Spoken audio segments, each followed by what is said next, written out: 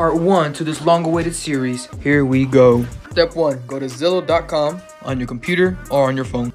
Step 2 Look for location on where you want to purchase. Today we're going to do Missouri. Step 3 You're going to drop down the for sale menu and you're going to deselect every single one except by owner. Step 4 Come over to the more tab, go all the way down. And here we're going to type in fixer. We have our keyword. We're going to want to make sure that we are at 6 months.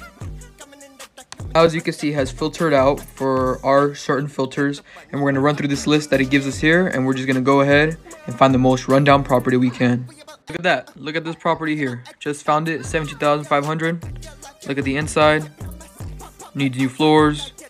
Needs a various of new things, new kitchen, new everything. Now let's look at the property, which happens to be right here. Now we're going to zoom all the way in to find where about it is on the map. And stay tuned for part two.